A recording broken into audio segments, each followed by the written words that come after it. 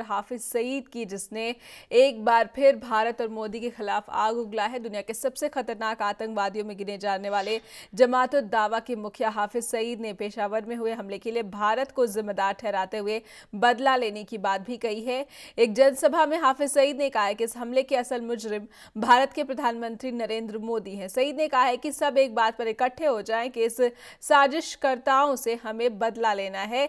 India इसका असली जिम्मेदार है। हमें पूरे तौर पर समझते हैं कि इस साजिश के पीछे इंडिया का हाथ है और हमें उससे बदला लेना है।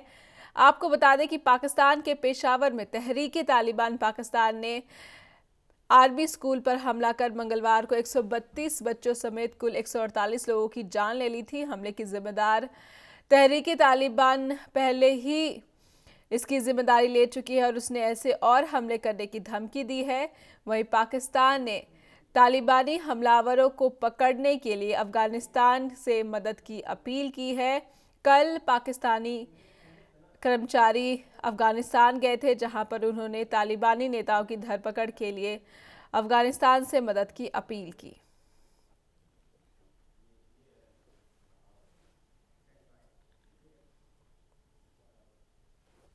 खबरों की दुनिया में आइए। हमारे साथ कहीं भी और कभी भी जुड़िए। हम मिलेंगे फेसबुक पर। हम दिखेंगे यूट्यूब पर। हमें फॉलो कीजिए ट्विटर पर।